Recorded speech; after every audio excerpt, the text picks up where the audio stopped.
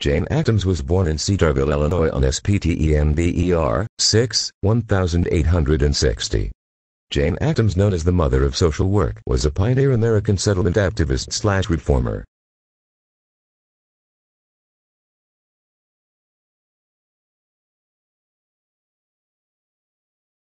Jane helped with the concerns mothers and women would have over in America.